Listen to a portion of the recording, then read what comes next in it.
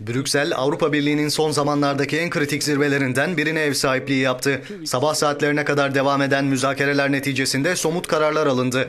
Euro'yu kurtarmak için toplanan birlik üyesi 27 ülke lideri, krizdeki Yunanistan'ın borçlarının düşürülmesi konusunda bankalarla uzlaştı. Yunan tahvillerine sahip Avrupalı bankaların bu ülkenin borçlarını %50 oranında silmeye ikna olduğu bildirildi. Böylece Yunanistan'ın bankalara olan 205 milyar euro civarındaki borcu 102 milyar euroya düşecek. Zirveden çıkan bir diğer önemli sonuçsa kısa adıyla EFSF olarak bilinen Avrupa Finansal İstikrar Fonu'nun önümüzdeki ay 440 milyar eurodan 1 trilyon euroya yükseltilme kararı oldu.